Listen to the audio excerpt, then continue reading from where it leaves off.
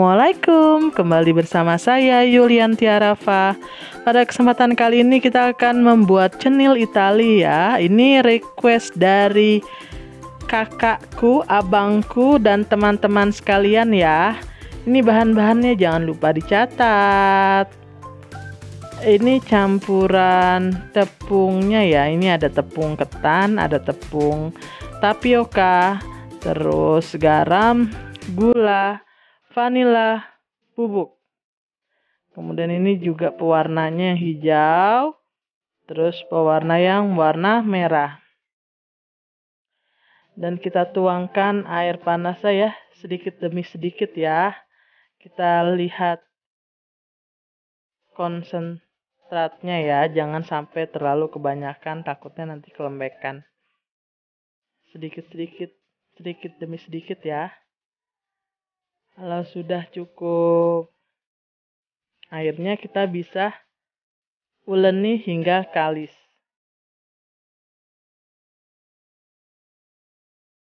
Saya pakai tangan dulu nih karena masih panas ya.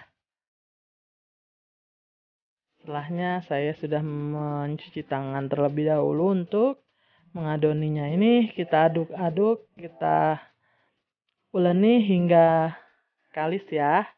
Kalau sudah kalis, bagi adonan menjadi dua bagian ya. Ada yang warna hijau dan ada yang warna merah.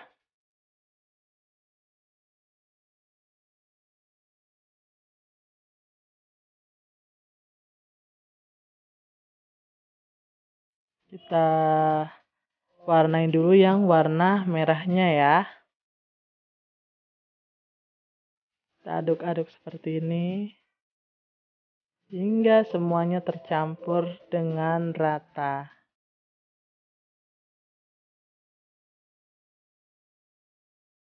Setelah rata kita sekarang yang warna hijau.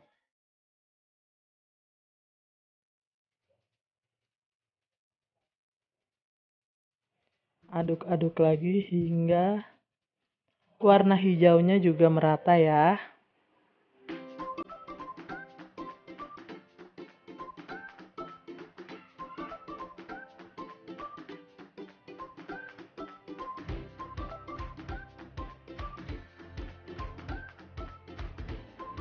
Kalau sudah semuanya tercampur warna, kita bisa membentuk adonan menjadi bulat-bulat ya. Atau juga bisa dipipihkan panjang-panjang. Kita juga bisa gradasi ya antara warna merah dan warna hijau.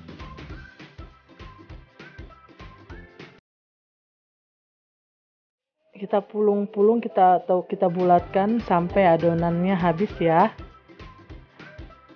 Setelah itu kita dapat merebusnya.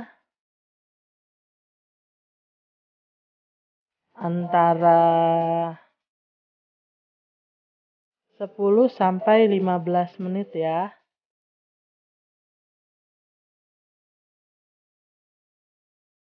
sesuai dengan kematangannya. Pokoknya kalau sudah mengambang berarti sudah matang.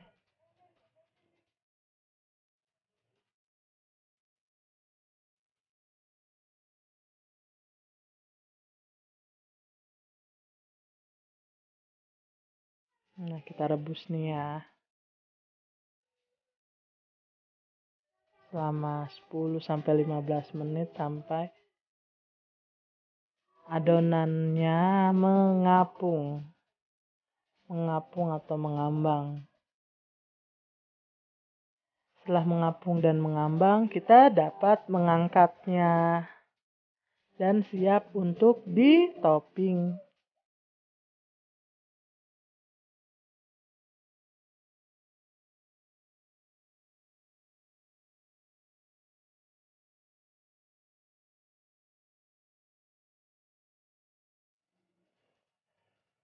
ini kita setelah matang kita beri topping. Ini kenapa disebutnya rasa Itali ini ada coko coco coklatos rasa Italia coklat. Ada keju, ada mes, ada susu kental manis. Kita buka cocolatosnya ya, cokolatosnya ya.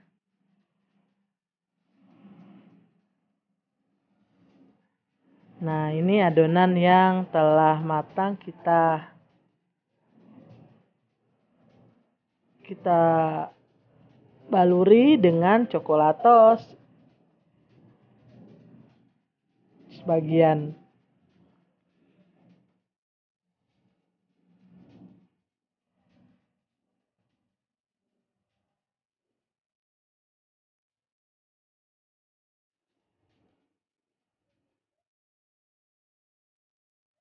dan sebagiannya lagi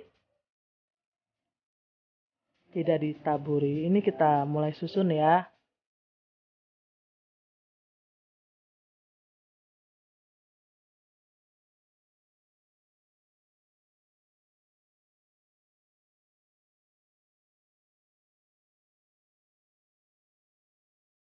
Dan ini yang tidak ditaburi coklatos. Warnanya cantik banget ya. Setelah disusun semuanya hingga selesai,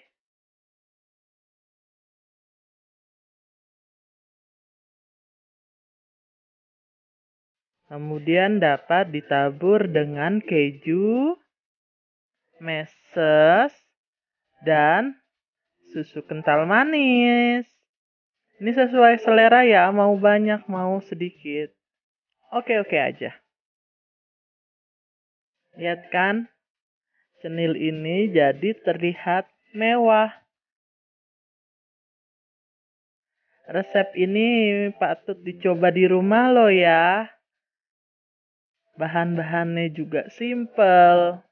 Bisa kita beli di sekitaran rumah kita atau di minimarket. Nih, sudah jadi nih. Ini penampakannya nih ya. Menarik sekali loh ya. Terima kasih loh.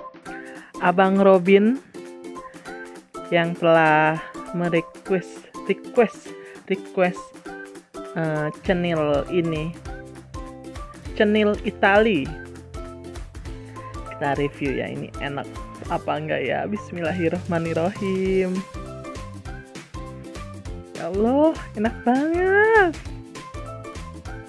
Sekali lagi, ya ampun, enak itu rasanya. Terima kasih yang sudah menonton video ini. Sampai jumpa di video selanjutnya. Tetap sehat, selalu sehat. Tetap menjaga protokol kesehatan 3M. Mencuci tangan, memakai masker, dan menjaga jarak. Wassalamualaikum warahmatullahi wabarakatuh. Bye bye.